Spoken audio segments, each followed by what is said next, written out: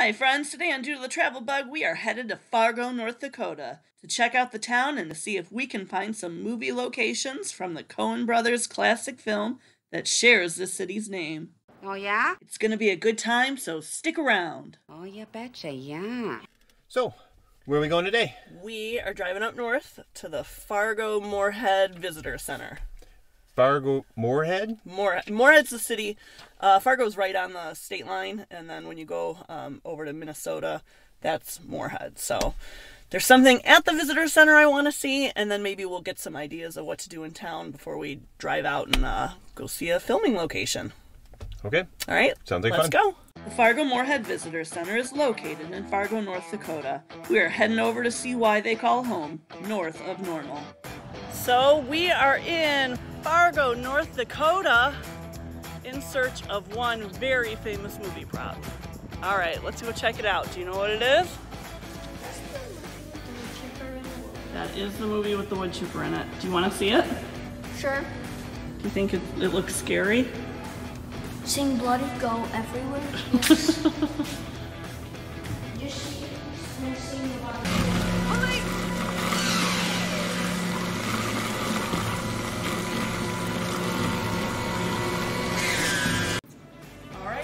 what it was?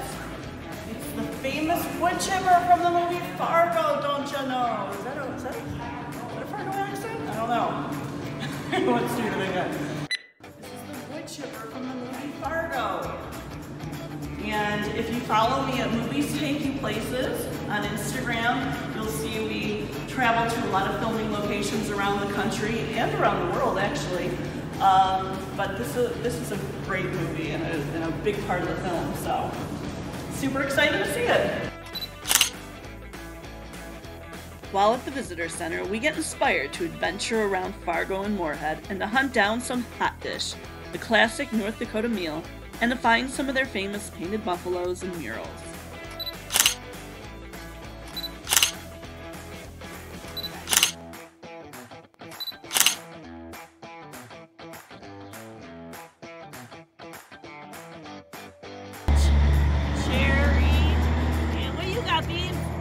Flavor is that? Chocolate! Chocolate. I got my half-eaten dilly bar. They're tasty. I mean, it's soft serve, dipped in a hard coating. So I remember Buster bars when I was a kid, but I've never really heard of a dilly bar. But apparently, this is the place that invented them, and this is the world's largest right here.